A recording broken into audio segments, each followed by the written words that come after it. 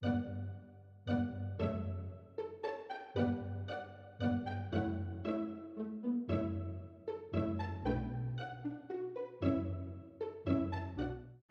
にちは。あの関口と申します。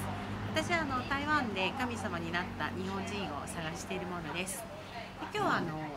これはあのピントンのあのワンロアンというところにあるちょっとあの個人宅のような廟に来てるんですけれどでちょっとあのこの廟をちょっと見てほしいです。でこれあの真ん中に祀られている神様は補正大帝って言って医学の神様です。で今日ねちょっとあの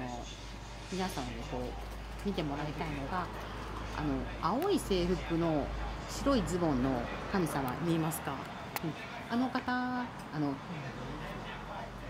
そうですね。あの義愛公っていう神様なんですけれど、まあ、義愛公っていうのはあの日本時代に萩の海の方の町に赴任してた、まあ、警察官ですね。で、まあ、当時の警察官いろいろやらないといけないんですよ。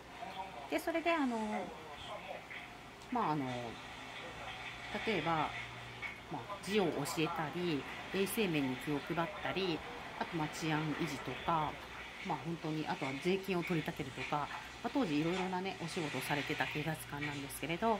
まあ、お上からあのちょっと税金上げてください。でそれであのみんなに通達してくださいってこう言われたんですけれど、まあ、皆さんの、ね、村人の皆さんの生活が苦しいのを知っててこう、ね、すごく悩んで悩んでね、うん、そういうことがあって亡くなっちゃった方なんですね。でもその亡くなったあの森川さんっていう神様なんですけれどでその森川さんはあのまあ、あの亡くなった後もその村人の夢に出てきてそれであの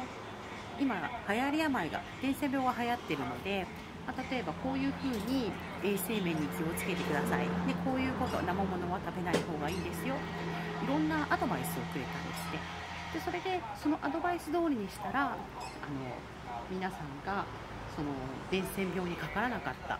うん、そういうことがあったのでその神様として祀られるようになった。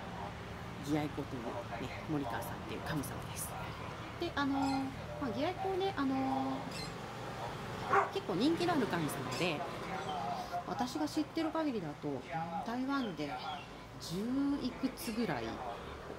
祀られてるんですね。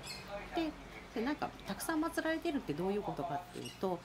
例えばその義愛公もともと祀ってるあの陶石って町があるんですけどそこの村の人たちがその引っ越しする時に神様を連れてきたい。で私神様連れてきたいんですけれどいいですかって聞くんですよ。そしたらいいですよって。でそれどういうことかっていうと、まあ、体を分けるわけじゃなくて魂を分類してもらう。